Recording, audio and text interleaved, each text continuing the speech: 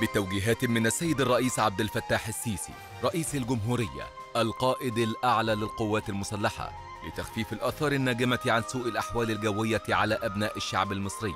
في المناطق الأكثر تضرراً. أصدر الفريق أول محمد زكي القائد العام للقوات المسلحة وزير الدفاع والإنتاج الحربي أوامره إلى الهيئة الهندسية للقوات المسلحة للقيام بمعاونة أجهزة الدولة في رفع الآثار الناتجة عن موجة الطقس السيء التي ضربت البلاد خلال الأيام الماضية ودفع عربات وماكينات شفط المياه المجهزة للمساهمة في تنفيذ أعمال الإغاثة للطرق المتضررة بمناطق عدة منها مصر الجديدة.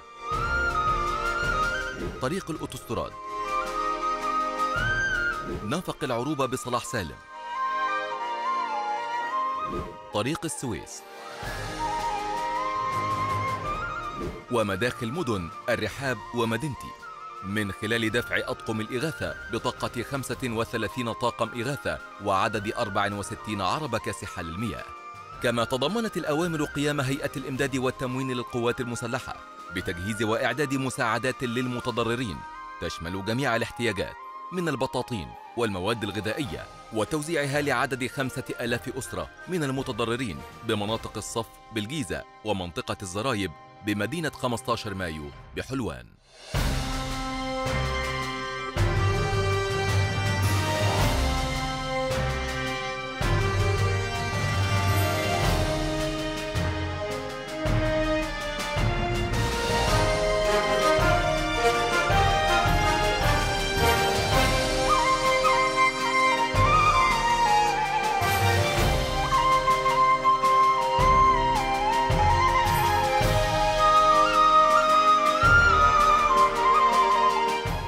جانبهم. أعرب المواطنون عن عميق شكرهم للقوات المسلحة على سرعة استجابتها في تقديم المساعدات المختلفة لهم ولأسرهم.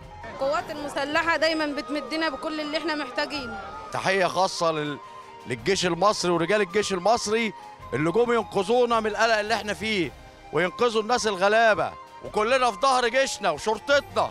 وتحيا مصر تحيا مصر تحيا مصر.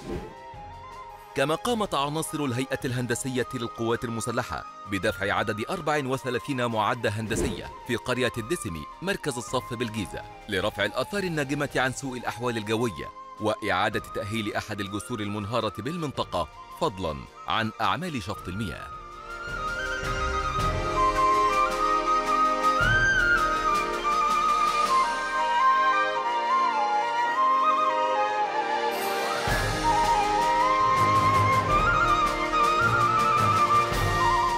يأتي ذلك انطلاقا من المسؤولية الاجتماعية للقوات المسلحة في تخفيف العبء عن كاهل المواطنين واستمرارا لجهودها الإنسانية في تقديم الدعم والمساعدات العاجلة للمواطنين والتخفيف من آثار الأزمة التي تعرضوا لها خاصة في المناطق الأكثر تضرراً.